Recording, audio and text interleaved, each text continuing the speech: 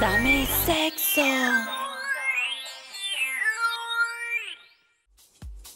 El mayor número de nacimientos se produce en el mes de septiembre, nueve meses después de las fiestas navideñas. Las temperaturas más bajas promueven un mayor acercamiento entre la pareja, buscando ese contacto físico que es más rechazado en épocas de calor, como en verano, lo que podría ser una de las causas del aumento de las relaciones sexuales en estos meses. Además, el frío, algo también característico de estas fechas, es el aumento de horas de noche y que ya sabemos que la mayoría de las personas prefiere practicar el sexo por la noche en vez de por el día. El frío y la noche provocan que la gente decida quedarse más en casa buscando ese calor del hogar. Los tocamientos bajo la mantita en el sofá y el famoso endredoning, aumentando así el número de horas en que se está en compañía.